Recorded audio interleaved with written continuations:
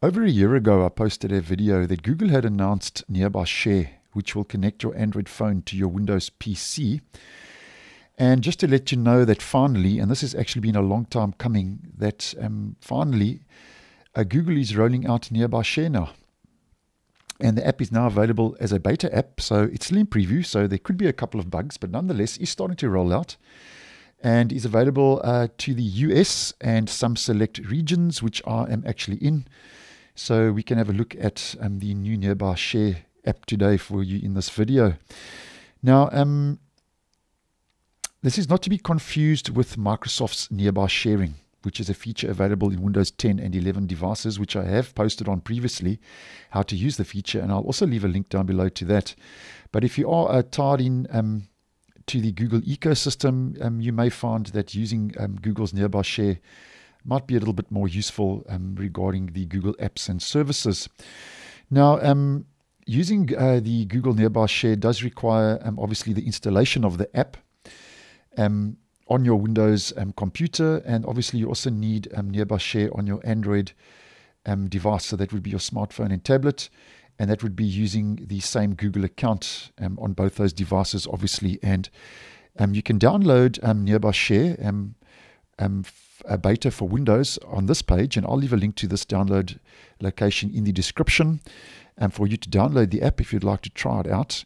But just take note um, of the small print. It says for Windows computers running a 64-bit version of Windows 10 and up, ARM devices are not supported, and Bluetooth and Wi-Fi are obviously required. So just take note of that. So once you've downloaded um, Nearby Share, you just head to your download location, and um, then you would um, obviously um, run the installation file, follow the prompts, install the app onto your system, um, which will open up um, automatically, I think, when you've um, installed it on your first run. But you can also get it in your start menu, Nearby Share Beta from Google. And there we go. Um, that's the new Nearby Share from Google, which is now finally starting to roll out.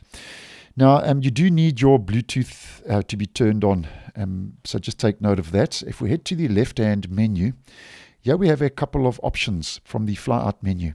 Receive from everyone, receive from contacts, receive from your devices, and devices hidden. And uh, devices hidden is actually the default option after you have um, installed the app on your first launch, and you can obviously change that.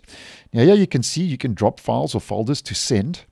And, uh, and if we head to the gear icon in the top right, the settings, um, yeah, you have your device name, which you can rename.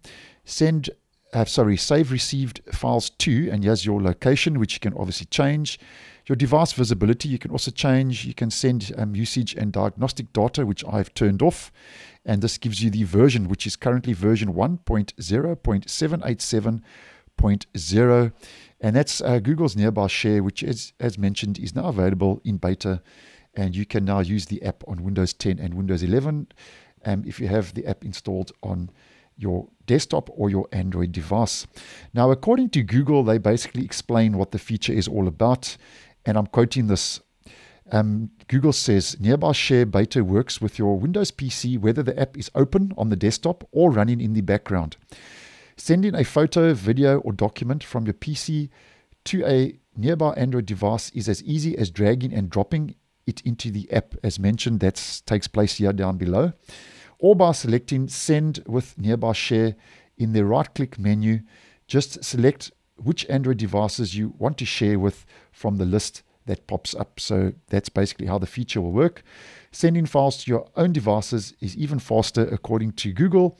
As long as both devices are logged into your Google account, as I did mention previously, file transfers are automatically accepted even if your screen is off. So that's more or less um, the gist of what's happening now with uh, Google's Nearby Share, which is now finally available uh, for Windows uh, PCs.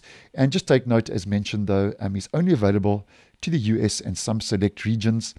Um, so if you're not seeing it as yet, um, if you're not seeing um, the app available for download, then um, I'm sure you'll be getting it sooner and later because um, obviously when it comes out of beta and becomes more stable, Google will start pushing the app out to more regions worldwide. But I will keep you posted and let you know accordingly if any of those changes do take place. So thanks for watching, and I will see you in the next one.